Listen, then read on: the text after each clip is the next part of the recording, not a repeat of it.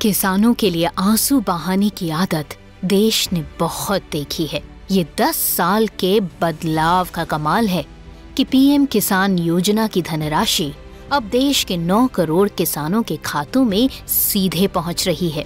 ये 10 साल के बदलाव का कमाल है कि 2014 से पहले कृषि के लिए कुल वार्षिक बजट होता था पच्चीस हज़ार करोड़ रुपए।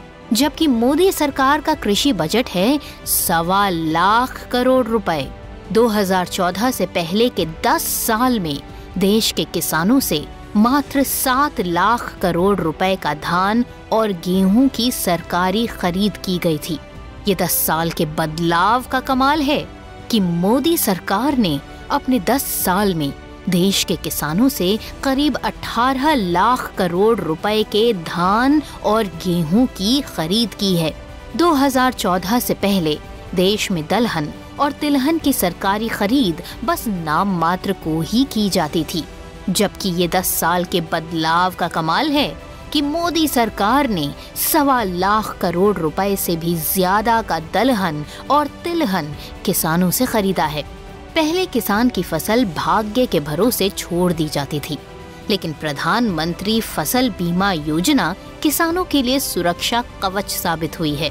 2014 से पहले मछुआरों और पशुपालकों के बारे में सोचा भी नहीं जाता था। ये 10 साल के बदलाव का कमाल है कि पहली बार मछुआरों और पशुपालकों के लिए अलग अलग मंत्रालय बनाए गए और उन्हें किसान क्रेडिट कार्ड की सुविधा भी उपलब्ध कराई गई।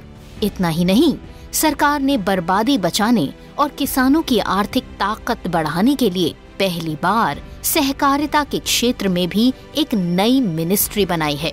ये 10 साल के बदलाव का कमाल है कि एफपीओ कार्यक्रम और स्वयं सहायता समूहों के निर्माण का मिशन अब किसानों को संगठन की शक्ति से जोड़कर कृषि उत्पादन में वैल्यू की ताकत से समृद्धशाली बना रहा है। दालों के मामले में, जब मैंने 2015 में आपको तो आह्वान किया था, आपने मेरी बात को सर आँखों पे उठा लिया था और आपने करके दिखाया था। वरना पहले तो क्या हाल था?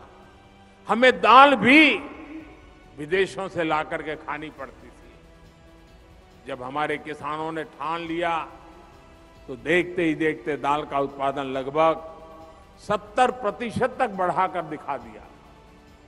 ऐसी ही इच्छा शक्ति के साथ हमें आगे बढ़ना है, भारत की कृषि को और आधुनिक बनाना है, नई ऊंचाई पर पहुंचाना है।